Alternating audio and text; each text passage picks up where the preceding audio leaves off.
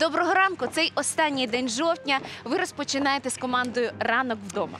Обіцяємо, зробимо все, аби ви прокинулися у доброму гуморі із запасом корисної інформації. Для вас працюють ведучі Ірина Хоменко та Костянтин Октябрьський. Мгм. І ми повернулись до нашої затишної домашньої студії.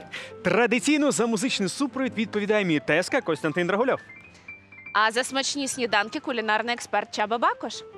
Чаба, чим ти нас сьогодні нагодуєш? Сьогодні приготуємо рисову лапшу з овощами, а потім креветочками.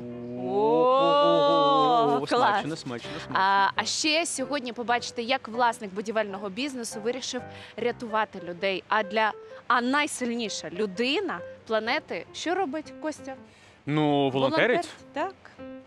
Отже, далі дізнайтесь, як елітний алкоголь допомагає Україні, а відома вітчизняна легкоатлетка пропагує українське на подіумі. І ще буде сеанс психологічної допомоги від Мгм. нашої домашньої психологині Наталії Підлісної та багато багато іншого. Починаємо новий день разом, і звісно, на початок дякуємо ЗСУ за те, що маємо цей новий день. Дякую. Останній день жовтня на календарі, а отже, у світі відзначають Хеллоуін. Або ж День усіх святих. Ну, саме так. Сподіваюсь, ти вже приготувала собі на вечір костюм. Це буде костюм відьми або відьми. Е, дякую. Але ні, я насправді дуже боязна натура і не святкую такі свята. Угу. Да. А от я тобі скажу, я полюбляю дивитися, як декорують заклади і будинки до свята.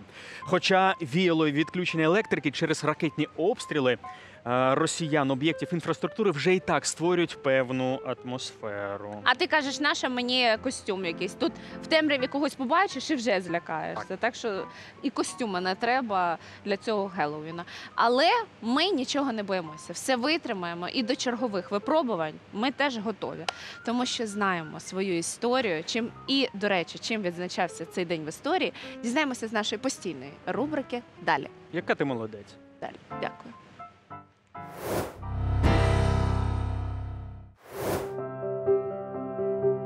31 жовтня 1853 року у містечку Короб на Чернігівщині народився український винахідник Микола Кибальчич. Ще навчаючись у школі, хлопчик захопився хімією. Щоб читати технічну літературу, самостійно опанував англійську мову. Найголовніший винахід науковця пластична вибухова речовина гримучий драгель. Це прообраз сучасної гранати. Її назвали справжнім дивом і новим словом у вибухотехніці. За потужністю вона втричі перевершила знаменитий динаміт Нобеля. Цією бомбою було вбито російського імператора Олександра II. В результаті Кибальчича арештували. У в'язниці він продовжив винахідницьку роботу і за кілька днів до смерті розробив проєкт унікального реактивного літального апарата. У 27-річному віці Кибальчич був страчений.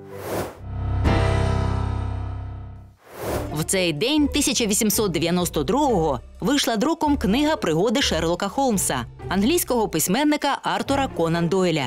Це була збірка з 12 оповідань. Вперше незрівняний Шерлок Холмс з'явився в детективі етюду багряних тонах.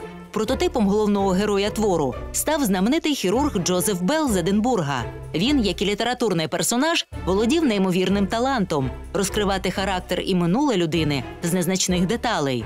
Про винахідливого детектива написано 56 оповідань, 4 повісті і знято 200 фільмів. Книга рекордів Гіннеса називає його найбільш екранізованим літературним героєм. А в Лондоні на Бейкер-стріт засновано будинок музей Шерлока Холмса.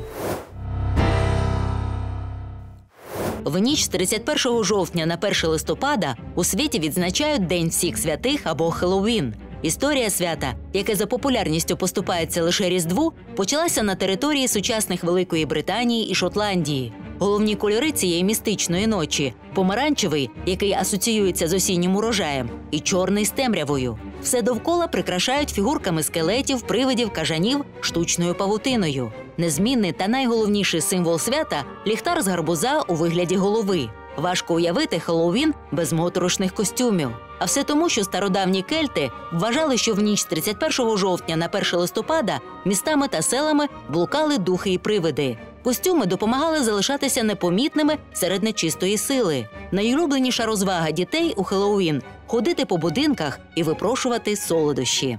А яким буде 31 жовтня 2022 року, залежить від кожного з нас.